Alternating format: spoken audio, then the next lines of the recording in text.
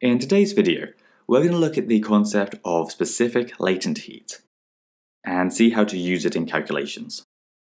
We saw in the last video that as we heat up a substance, the particles gain energy in their kinetic energy store, and this increases their internal energy. We also saw that temperature is just a measure of the average internal energy of all the particles in a substance. So as we heat objects, and the internal energy of their particles increases, the object's temperature increases as well. The whole point of this video, though, is that there is an exception to this rule, and that's when there's a change in state.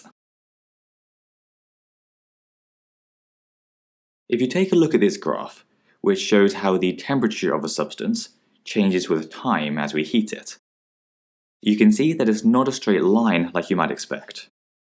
This is because when the substance is changing state, so at the melting point or the boiling point, the energy that we're providing is being used to weaken or break the forces holding the particles together, rather than increasing the particles' internal energy.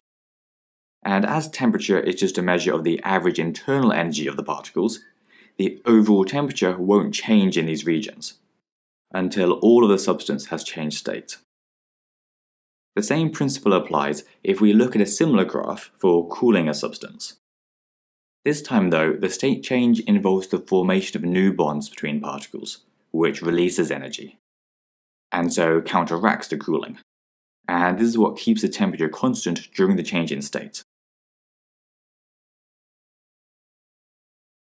Now, the exact amount of energy that's required to change the state of a substance, while the temperature remains the same, is known as the latent heat.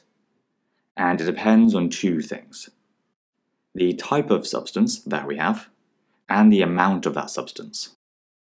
To standardize these values, though, we use the term specific latent heat, or SLH, which we can define as the energy required to change one kilo of a particular substance from one state to another without changing its temperature.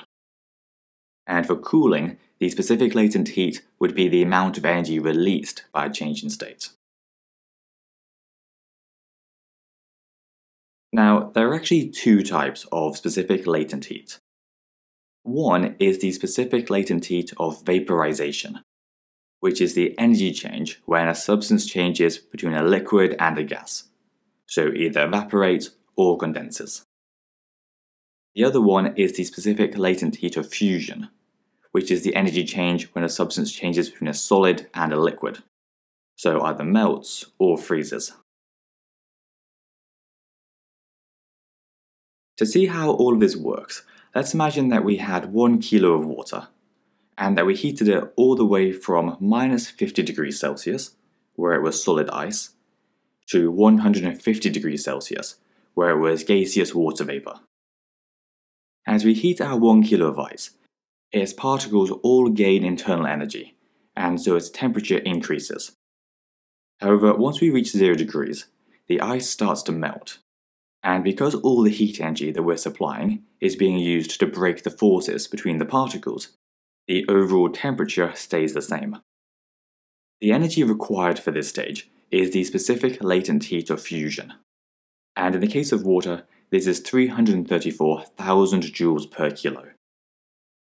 Once this much energy has been provided though, and the ice has all melted into liquid water, then the temperature will continue to increase, all the way to 100 degrees, where the same process happens again. This time though, the energy required is the specific latent heat of vaporization, which is 2,260,000. And once the water has all boiled into water vapor, its temperature continues to increase like normal. Bear in mind that you don't need to memorize these figures, they'd be given to you in exam if you needed them. As we said earlier, if we were to cool our water, the same concepts would apply. But the amount of energy that we mentioned for the specific latent heat of vaporization and the specific latent heat of fusion would be the amounts of energy released rather than required at each stage. The last thing we need to look at is the equation for specific latent heat, which says that the energy that's required or released, is equal to the mass of the substance times the specific latent heat. You can also use this formula triangle if that's easier. So a typical question could be something like, how much energy is required to completely boil 2.5 kilos of water at 100 degrees Celsius? Use the relevant data from the table.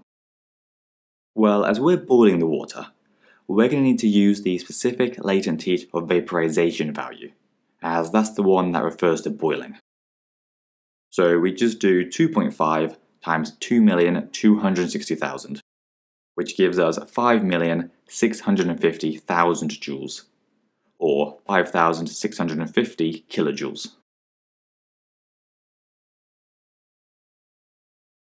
If you haven't heard yet, you can find all of our videos on our website, cognito.org.